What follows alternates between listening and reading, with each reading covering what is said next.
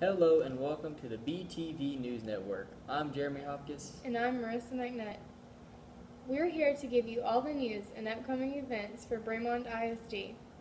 Juniors, be ready to start ordering your class ring on September 15th. All order forms are due on the 22nd. Pee Wee football has begun. Come out and support all the kids participating at the tournament in Bremond on September 23rd from 8 a.m. to 2 p.m. Homecoming is coming up. The Bremond senior class of 2018 is sponsoring the locally famous mums from Janet's Flowers. Thursday, September the 28th, will be the annual bonfire. Homecoming follows the next day, on the 29th, with an early out at noon, then a parade at 2 p.m., pep rally, and football game. During the football game, there will be a silent option for the Bremond class of 2018. The Bremond Tigers will be facing Thorndale. Come out and support the class of 2018, and good luck to our Tiger football team. The end of the six weeks is also that Friday, September 29th, so make sure your grades are where they need to be. Monday, October 2nd, will be a student holiday, so enjoy a four day weekend with your extra day off. October 6th will be the Cap Day hosted by the Bremond Varsity Cheerleaders. Bring $1 to get a stamp and you'll be able to wear your cap all day. Next, we are sending it over to sports with Mark Abbey. Welcome to Bremond ISD Sports with BTV News. I'm Mark Abbey. The football team has kicked off the season with a 47-0 record. They started two days on August 7th.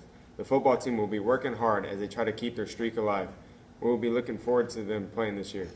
We caught up with Coach Jeff to see what Bremond football is all about.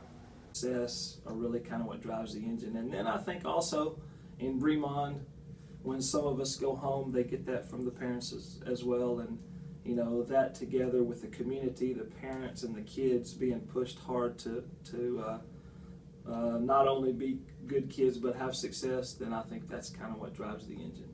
Okay, and last question. Who is your favorite college coach?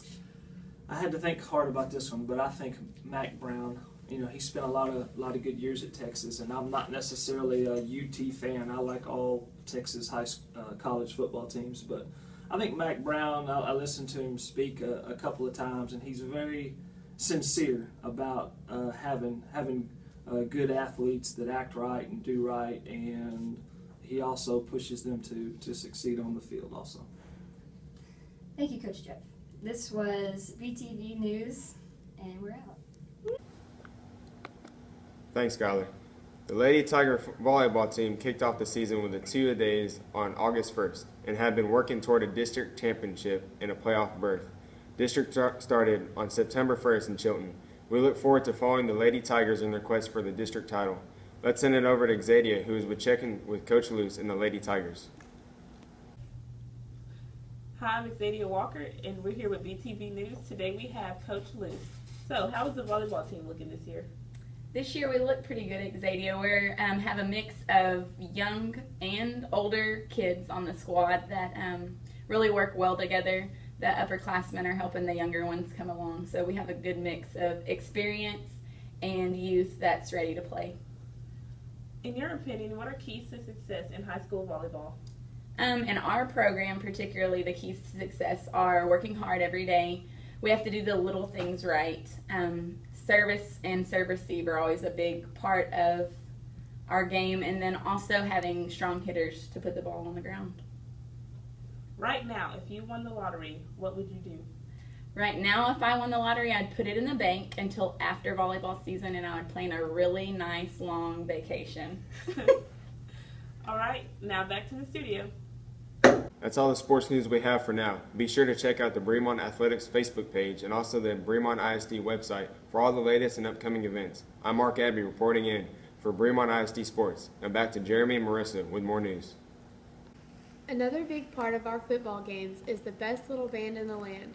Let's catch up with Eric, who is with our band director, and see what the Bremond Tiger Band has in store for us this year.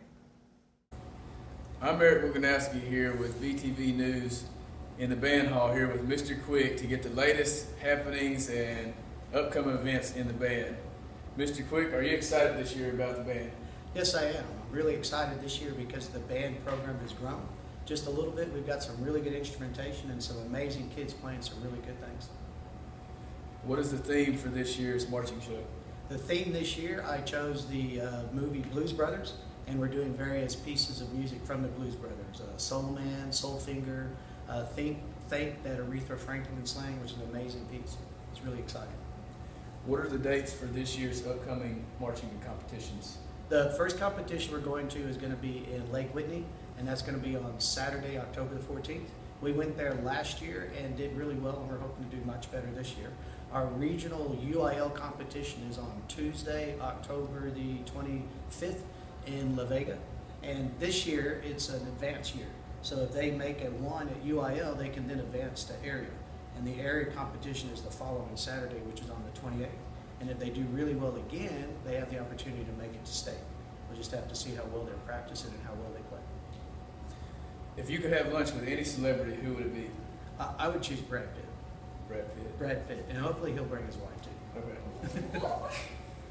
That's all here with BTV News. I'm Eric Lubinowski, signing off.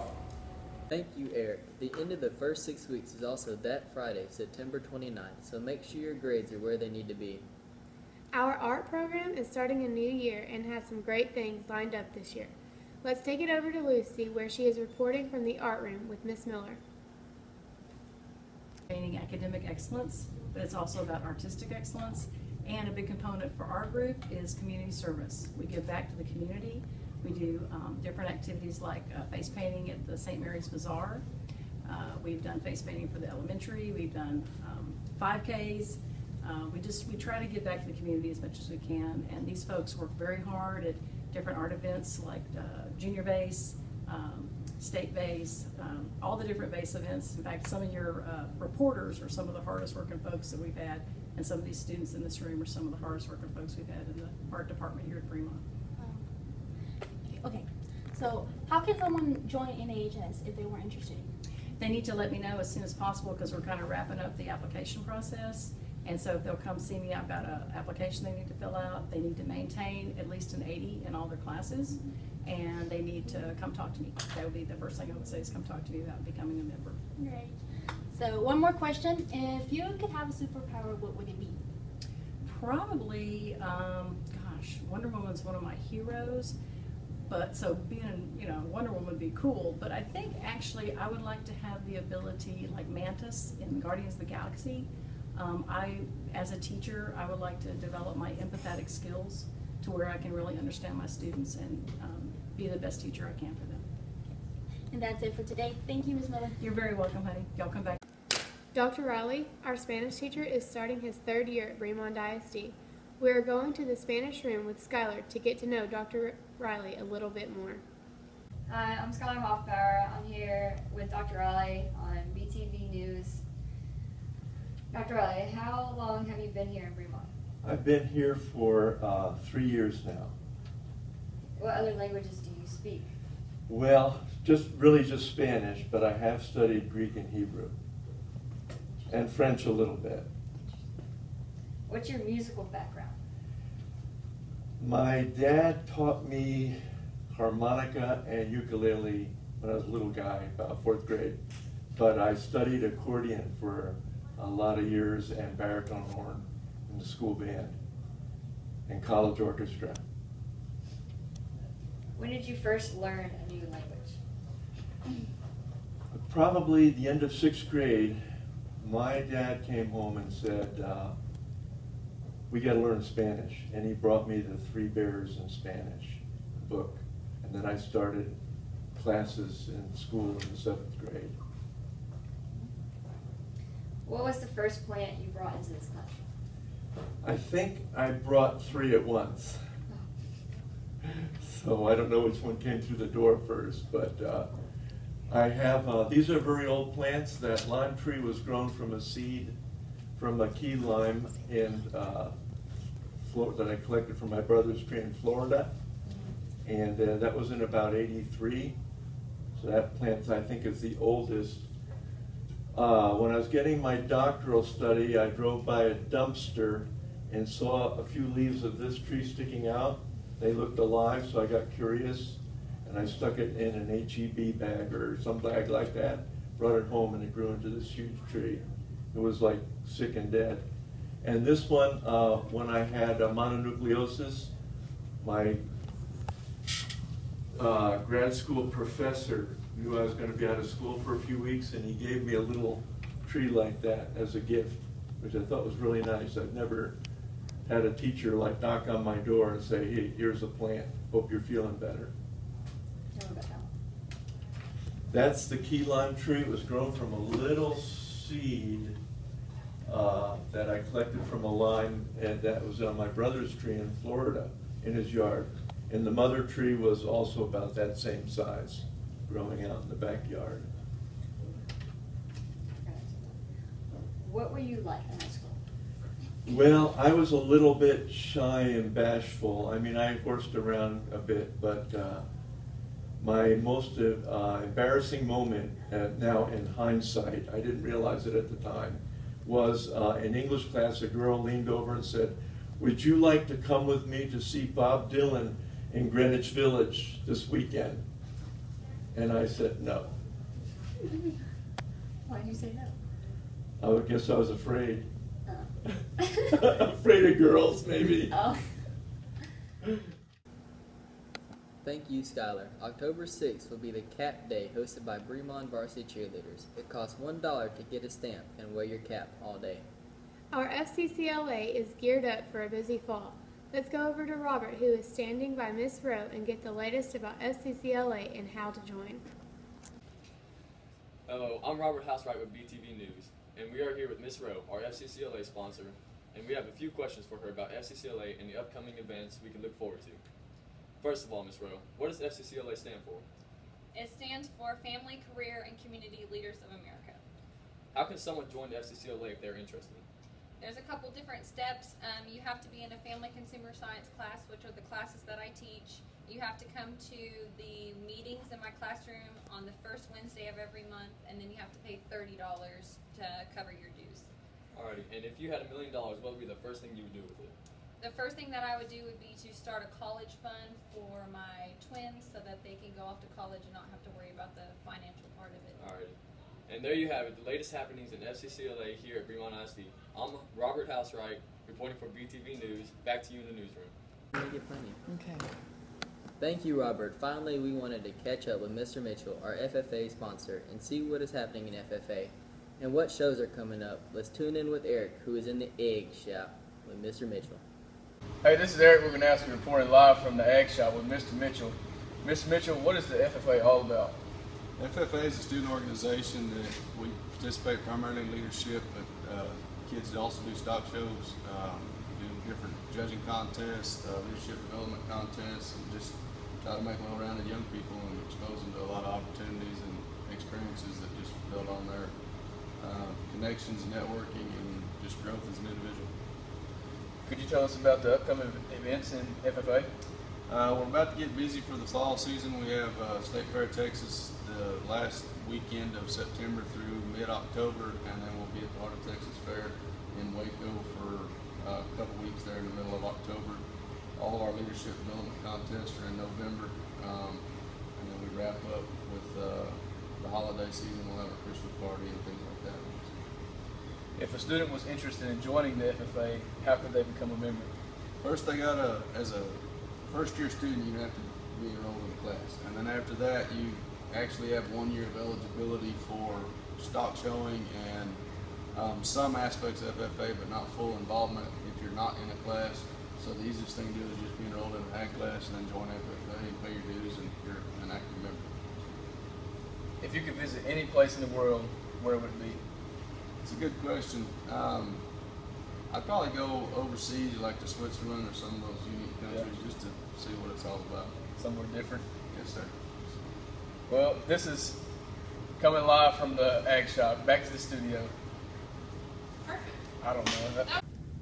Hi, I'm Xavier Walker here with BTV News, and we're here live with our student council sponsor, Ms. Vice.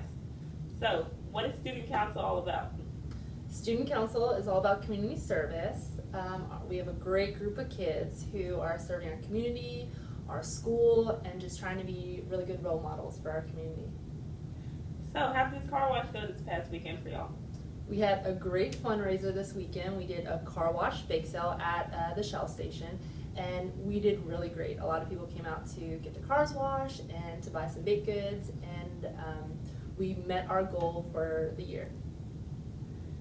How does someone become a member of student council? So if you want to be part of student council, you can come talk to me or Mr. Bishop, and we'll tell you all about it, or talk to the bunch of kids who are already in student council. Um, but basically, if you're interested, just come to our meetings, see what it's all about. If it's not for you, then that's fine. You just kind of hung out with us for a meeting. But if it is, then contact us, um, and you know you'll be part of it. It's a great organization. Can you tell us about y'all's recycling program? Okay, we have a recycling program. This is headed up by my co-sponsor, Mr. Bishop. Him and all of our um, student council members collect recycling every Friday. Um, it's by classes, um, and so they get together every Friday, sophomore class, freshman class, junior class, senior class, and they collect all of the recycled paper out of the whole school district, and they bring it to the recycling center in Bryan. And I think to date we have, let's see, we've done it for about eight years now, and we've collected thousands of units of recycling. So I'm really proud of our kids for starting this program and continuing it strong. Okay, thank you, Ms. Spice. Hello, this is Big TV News. I'm Xavier Walker, and I'm here with Skylar Hofgar. And today they're doing an egg drop. Let's see how it goes. It ain't gonna go good. Yeah. Uh, Watch. Okay, Watch now we're gonna see if the egg has made it. It made it. Look at that. Do not break my egg. it. Take it out. Yeah. Did it survive? Yeah. Woo! The egg has survived. Yeah. Okay, stop filming.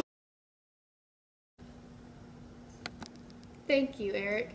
Be sure to visit our website for all the latest updates on the www.bremondisd.net and check us out on Facebook. Search for the Bremond ISD Facebook page for all the upcoming events and latest news. That will be all for today. This is BTV News, I'm Marissa McNutt. and I'm Jeremy Hopkins. Have a great weekend. I like how we didn't do the thumbnail.